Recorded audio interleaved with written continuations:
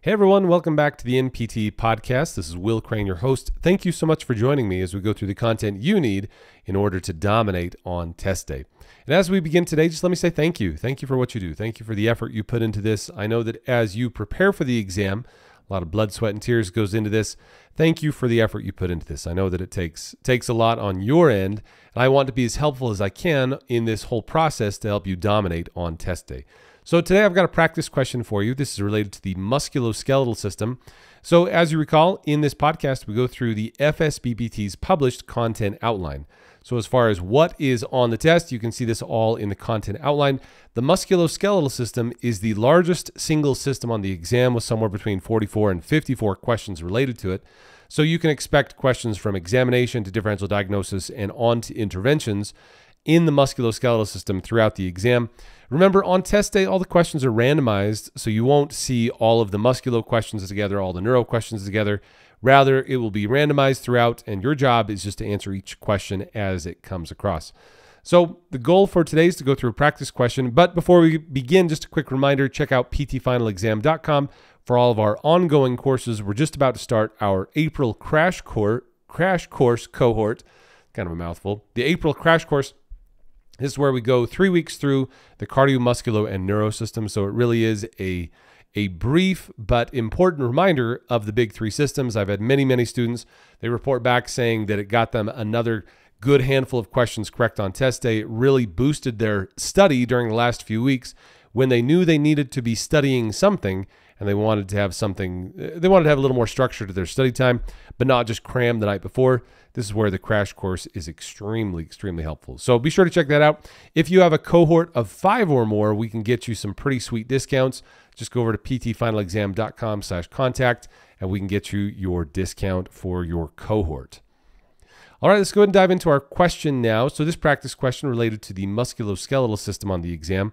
This one's actually related directly to regenerative medicine. So on the FSBPT content outline, they added for 2024 questions about regenerative medicine. And so this is a question related directly to that. So without further ado, let's go ahead and dive into our question. What we'll do, as per usual, I'll read to you the question, give you a moment to respond, and then we'll talk about it together. Here we go.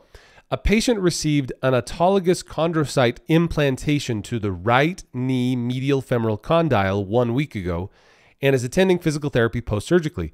Which of the following interventions will be most appropriate at this phase of healing?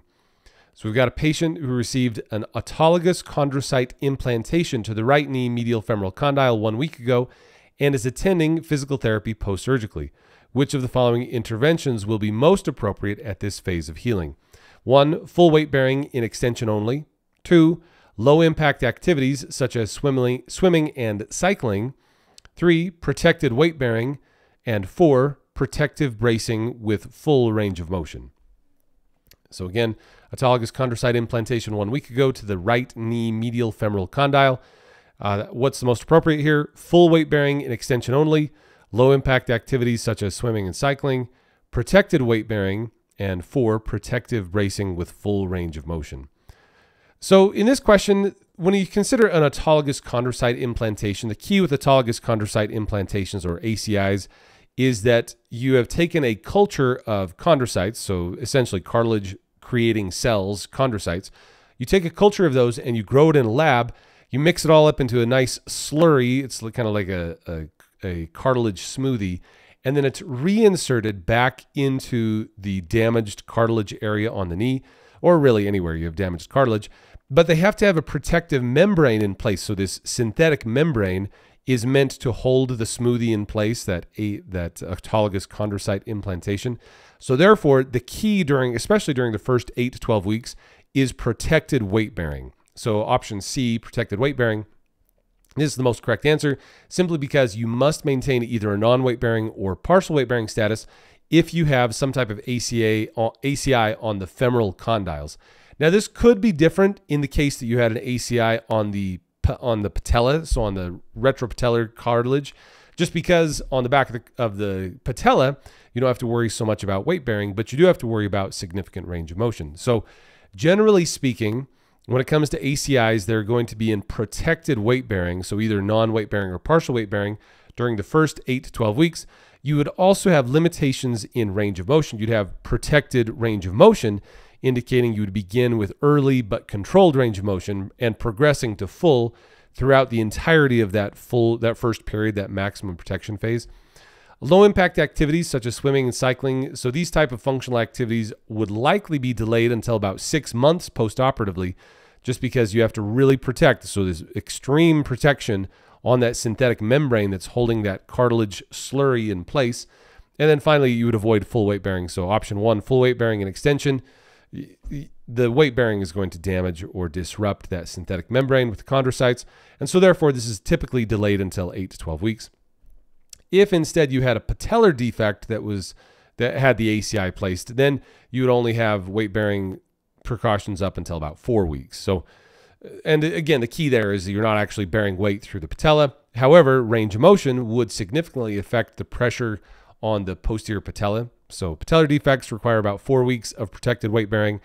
Uh, condylar ACI would likely require somewhere between 8 and 12 weeks of protected weight bearing just because you don't want to damage that synthetic membrane. So this is, as I mentioned, this is an example of the regenerative medicine that you'll see on test days. So this is a classic one, autologous chondrocyte implantation. It is in the textbooks. You'll see it in Kisner and Colby's therapeutic exercise. So definitely on the list of things they could ask you about. And again, the, I think the biggest key with ACIs is just remembering that you have pretty significant precautions during the first 8 to 12 weeks because you need to protect those chondrocytes. Again, think of it like a, a cartilage smoothie that is this it's injected un, with a syringe underneath this synthetic membrane. And so again, consider that that it's not not solid tissue yet. It takes a good solid 8 to 12 8 to 12 weeks to solidify in order to begin bearing weight. So that's an example of regenerative medicine you could see on test day. All right, so with that, we'll go ahead and bring today to a conclusion. Thanks so much for spending your time with me. I know that this is your precious study time. Hopefully, you're using this during your found time. So, I talk to students about found time.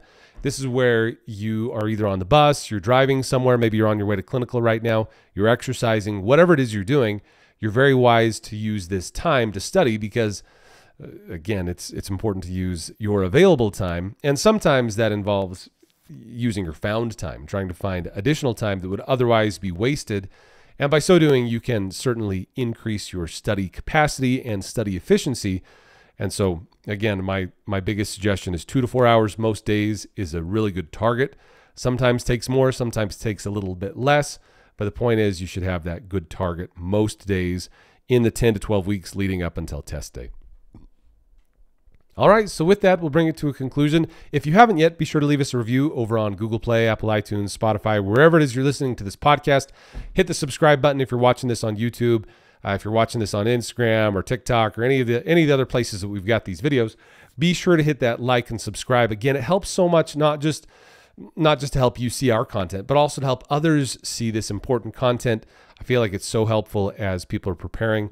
Uh, like when I was at CSM, oh, hundreds, hundreds of students came by and said that they appreciated the podcast. They'd seen it, they'd heard of it, and it, it was very helpful to them as they were preparing for and passing the board exams. And that that type of feedback is is extremely rewarding. Something that I want to be is extremely helpful to you, and especially in this free format it's super fun to be able to just talk through the content, give you the stuff you need, and help you on your way to the test. So if you again, if you haven't yet, it only takes like one second. Go over and leave us a review. It helps so much. Or hit that subscribe button, whatever button it is you hit. Go ahead and hit it, and uh, it really helps as we get the word out. All right, with that, we'll bring it to a conclusion. Thanks, everyone. Hope you have a fabulous study day. Stay safe out there. Will Crane fist pumps all around, and I'll catch you all in the next episode. Thanks.